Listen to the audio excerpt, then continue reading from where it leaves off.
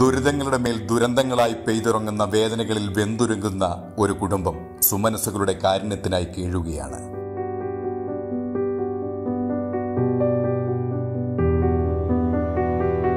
കടക്കാവൂർ പഞ്ചായത്തിൽ കീഴാറ്റിങ്ങൽ മൂന്നാം വാർഡിൽ മാടംവിളാകത്ത് വീട്ടിൽ മുരളീധരനും കുടുംബവുമാണ് ദുരിതങ്ങളുടെ കയത്തിൽപ്പെട്ട് ജീവിക്കാൻ നിവൃത്തിയില്ലാതെ കേഴുന്നത്. അഞ്ചംഗ കുടുംബത്തിന്റെ നിത്യചെലവിനായി കൂലിപ്പണി ചെയ്ത് നിത്യവൃത്തിക്ക് വക കണ്ടെത്തിയിരുന്ന മുരളീധരൻ നായർ ഇന്ന് ക്യാൻസർ പിടിവിട്ട് ആർ സി സിയിൽ ചികിത്സയിൽ കഴിഞ്ഞു വരുന്നു മുരളീധരന്റെ വൃദ്ധമാതാവിന് ഹാർട്ട് സംബന്ധമായ അസുഖവും വാർദ്ധക്യസഹജമായ അസുഖത്താലും ബുദ്ധിമുട്ട് അനുഭവിക്കുകയാണ്.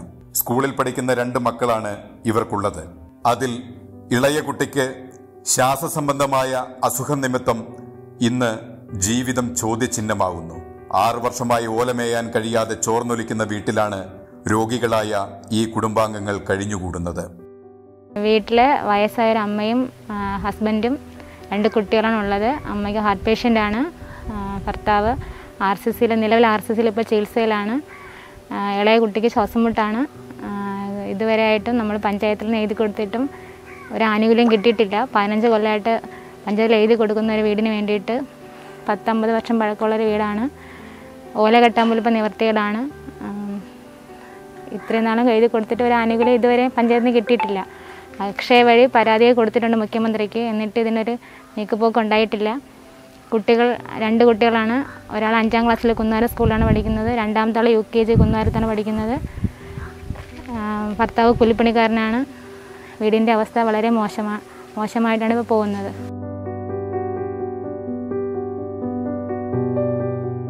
പഞ്ചായത്ത് അധികൃതരുടെ കനിവിനായി വീടിന് അപേക്ഷ കൊടുത്തെങ്കിലും അധികാരികൾ ഈ കുടുംബത്തെ അവഗണിക്കുകയാണ്.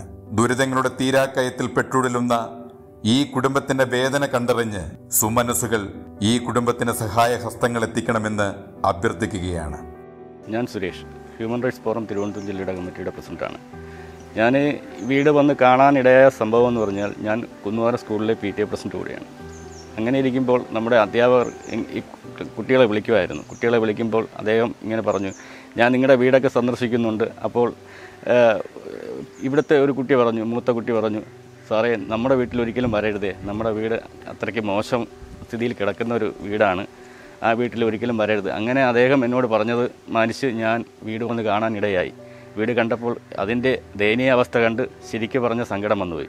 അതുകൊണ്ട് അത് അത് കാരണമാണ് ഞാൻ ഈ ചാനലിന്റെ ബന്ധപ്പെടാനും നിങ്ങളുമായിട്ട് ഇത് ഞാൻ പങ്കുവയ്ക്കാനും തയ്യാറായത്. കാരണം ഇത് ഇവിടുത്തെ ഇദ്ദേഹം മുരളീധരൻ നായർ എന്ന് പറയുന്ന അദ്ദേഹം ഓൾറെഡി ഒരു കൂലിപ്പണിക്കാരനാണ്. അദ്ദേഹം ഒരു ആർ സി സി ട്രീറ്റ്മെന്റിൽ ഉള്ള ഒരു വ്യക്തി വിടുകയാണ്. അതുപോലെ അദ്ദേഹത്തിന്റെ അമ്മ അമ്മയ്ക്കും അസുഖബാധിതയാണ്. കുട്ടികളുടെ കാര്യം പിന്നെ ഞാൻ പറയേണ്ട കാര്യമില്ലല്ലോ. ഇളയ കുട്ടിക്ക് ശ്വാസമുട്ടലാണെന്ന് നമുക്ക് അത് ഓൾറെഡി നമുക്കറിയാൻ കഴിഞ്ഞു. നിങ്ങളുടെ നമ്മുടെ ഇത് കാണുന്ന നമ്മുടെ മാന്യ സഹോദരങ്ങൾ അവരുടെ അവരെ സഹായിച്ച് നല്ല രീതിക്ക് അവർക്കൊരു പാർപ്പിട കയറി കിടക്കാൻ ഒരു വീടുണ്ടാക്കി കൊടുക്കുന്നതിന് വേണ്ടിയിട്ട് എല്ലാവരും അവരാൽ കഴിയുന്ന സഹായം ചെയ്ത് എല്ലാവരും പ്രയത്നിക്കണമെന്ന് അപേക്ഷിക്കുന്നു. വളർന്നു വരുന്ന ഈ കുഞ്ഞുങ്ങളുടെ ഭാവിയുടെ മേൽ ഒരു സ്വാന്തനമായി കരുണയുള്ള മനസ്സുകളുടെ കനിവിനായി കേഴുകയാണ് ഇവർ. നിസ്സഹായതയോട് ഉറ്റുനോക്കുന്ന ഈ മനുഷ്യരുടെ ജീവിക്കാനുള്ള കൊതിയാണ്. രോഗത്താൽ തകർന്നു പോകുന്ന ഒരു കുടുംബത്തിന് ചെറു സഹായങ്ങൾ കൊണ്ട് നമുക്ക് തിരിച്ചു കൊണ്ടുവരാം. ജീവിതവും കുട്ടികളുടെ പഠനവും മാത്രമാണ് ഈ കുടുംബത്തിന്റെ ഏക ആഗ്രഹം. അത് നിറവേറ്റാൻ നമുക്കൊരുമിച്ച് ഒന്നായി പ്രവർത്തിക്കാം. വിസ്മയ ന്യൂസ് ആറ്റിങ്ങൽ.